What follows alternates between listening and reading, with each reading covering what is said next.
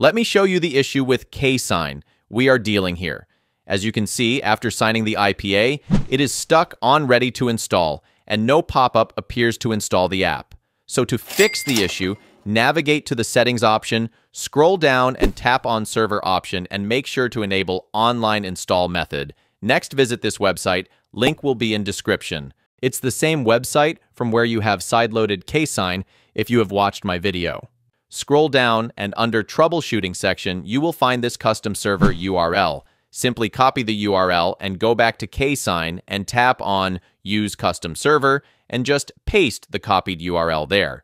Now just remove the Ksign app from the app switcher and reopen it. Tap on the imported app and select Sign and Install. And as you can see, the pop-up appears successfully and the side loading process has started. And eventually, the app is side loaded successfully and also opening without any error.